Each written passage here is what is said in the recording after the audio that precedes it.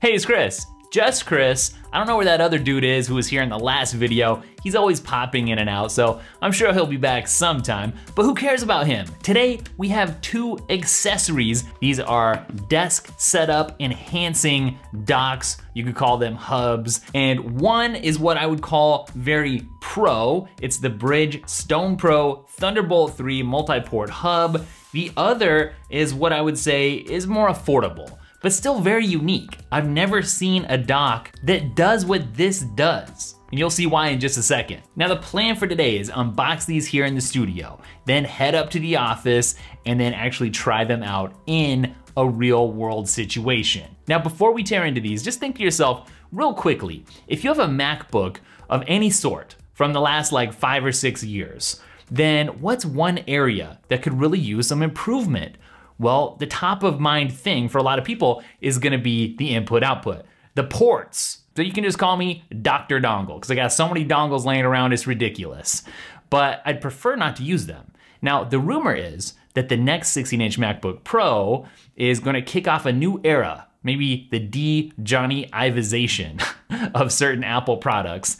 And we're actually gonna get some inputs added back into some of the Macs. That's the rumor. But until then, and even with that, we need to take advantage of products like the Brydge Stone Pro Thunderbolt 3 multi-port hub. Now, when you talk about hubs, obviously looks are important. We're gonna get to that in a second, but here's what you get. You get an audio input or a mic input, right? So even if you're already using the headphone jack on your 16 inch MacBook Pro like me or whatever you got, you can still plug in a microphone here. That could be useful. USB-C, three USB-As, an ethernet port, all of these ports live on the back of the dock, which is cool because then all the cords kind of cascade down the back of your desk and they kind of stay out of your line of sight, which is nice. One thing you don't want in the back is the SD card slot. That's on the side for easy access. That makes sense. All right, that's a big box for such a little dock. So in the box, I got the dock itself and some cords. All the cords I would ever need, including the power cord and power brick. All right, well, feast your eyes on these ports here. What I like about this setup is that it's so compact, number one. This is not that big. Number two, it's designed to stay out of the way if you want it. So you could stash this towards the back of your desk and just have all those cords cascading off in the back and just kind of staying out of the way. That's an option. Or another option is to have your Mac laptop resting on top. That's what this nice little rubber stopper is for. So you can have it visible and accessible or you can kind of have it out of the way. It's just totally up to you. I love that because there's other docks that just kind of sit there on your desk, taking up a bunch of space, not looking real great, adding some functionality, yes, but if you can be stealth about it like this, that's what I would prefer. And just in case it wasn't crystal clear already or you missed it, this is Thunderbolt 3 compatible, so you get Thunderbolt 3 speeds. Oh, and of course it's got this non-stick surface on the back so that it hopefully stays put on your desk. The price of this Brydge hub is 250 bucks. Now this is the second thing that we're checking out today. It's the Dockcase, and it's described as a 7-in-1 USB-C smart display dock. What? It actually has its own little display on top, which is kind of cool. I, that's what I'm saying. I've never seen something just like that before. So let's check this out too. And you know what? As I'm just seeing it here, that's a slick looking device. That is nice. So what comes in the box? It's the Dockcase itself, and a USB-C cable. Now what I like about this is that you get 100 watt PD charging. You've also got an HDMI, a couple of USB-As, another USB-A on the other side, and of course, some card slots, which is great. So I feel like if we're having that dongle conversation, what you get with this is really like one cool dongle, better dongle that does it all instead of having to use like three or four different dongles. This has some little anti-slip feet on the bottom too, which is nice. And I, I like the looks of it. If you have to have it sitting out, um, this is better than a lot that I've seen. I'll just say that. And that's without even telling you about the screen. The screen is blank right now because I don't have it plugged in. But we're gonna go test that out up in the office and see what it actually looks like, see if it's actually useful. Okay, so it's been like a day or two now at this point. I'm up in the office. I've been testing out these docks and I gotta tell you, I totally forgot that I had a third dock laying around that deserves a quick mention here. It's from Editor's Keys and it's kind of a dock like you would expect. It's got some USB A's, it's got a USB-C, HDMI, uh, headphone jack. Oh, and a light that lights up at the end just to kind of let you know that it's connected. Pretty basic, pretty straightforward, uh, well made, works nicely, and I'll probably mention it more in an iPad video later because it has a specific feature that's great for iPad creators in particular.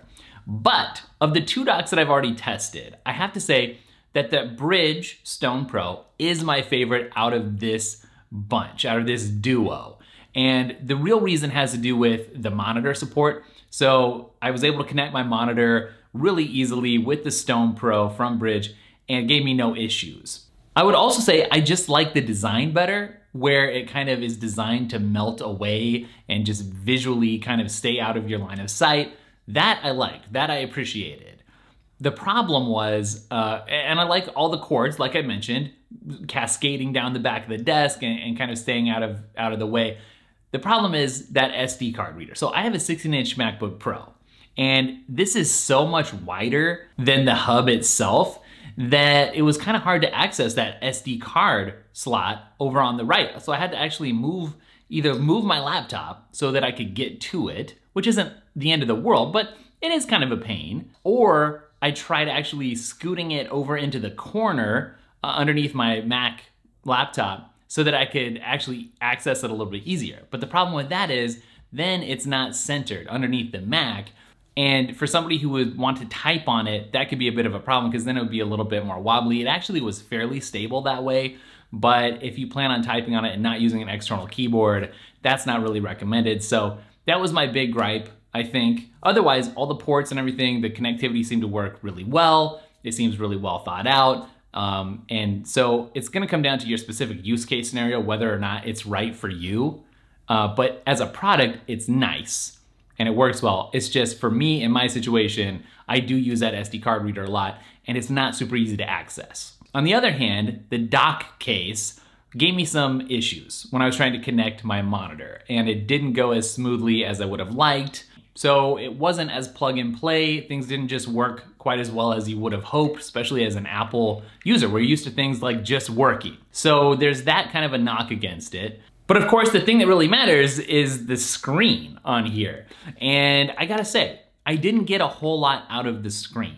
You know, when I plugged in an SD card reader, it said SD card reader inserted but I already knew that because I plugged it in. So that's not a huge thing for me. There's a little hole right here where you're supposed to be able to insert like a paperclip and change what's actually displayed on the screen. And I actually wasn't able to get that to work because the paperclip wouldn't fit. And I was just using like a regular paperclip. It's a very uh, cheery, polite screen. It says, have a nice day on it. So I feel like there's something here, but it just needs some refinement. You know, it seems like a well-built, you know, nice thing. It's a good concept. I'm not gonna just call it a gimmick because I think that something could be done with it.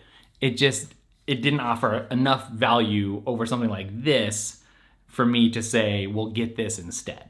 And honestly, between the three, the one that I forgot I even had that uh, I'm glad I rediscovered, the editor's keys, that's probably the thing I'm gonna end up using the most because it's plug and play and it works really good and it's got the light up thing and uh, I don't have to reach around and move my laptop to get to it. But the only thing is it's back to having a dongle. So nothing's perfect. Maybe the next 16 inch MacBook Pro with the M1 chip is just gonna blow us away with its connectivity. But I have a feeling that still power users are gonna need some kind of dock, whatever it ends up being. All right, that's enough rambling for this video. So I'll link these things up down in the description so you can uh, check out the pricing, uh, do a little more research on you know what might be most applicable to you.